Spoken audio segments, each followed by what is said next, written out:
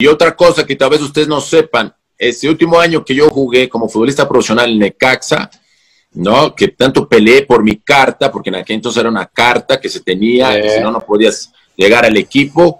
Yo llegué en aquel entonces con el presidente de la América, era Javier Pérez Teufer, si no me equivoco, y le dije, dame chance de despedirme de jugar en la América. Es mi gran sueño. Yo quería retirarme en la América. Y dije, para que veas que aquí el tema no es dinero, yo juego gratis.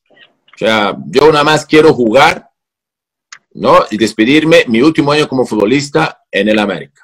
Infelizmente no tuve una respuesta que yo quise, ¿no? No tuve esa, esa aceptación, rechazaron mi, mi, mi, propuesta, no, no sé en dónde cayó, en quién recayó, quién tomó esa decisión, pero estaba dispuesta a jugar gratis con el afán simplemente de poder retirarme en América. No fue posible, no pasa nada, la vida sigue, ¿no? El mundo sigue girando, como mi padre me enseñó, pero eso es lo que creo que ustedes, americanistas, se dieron cuenta de cómo era mi forma de ser, mi esencia. Y a partir de ahí es como creo que empiezas a ganar la confianza, el respeto y la admiración de los aficionados.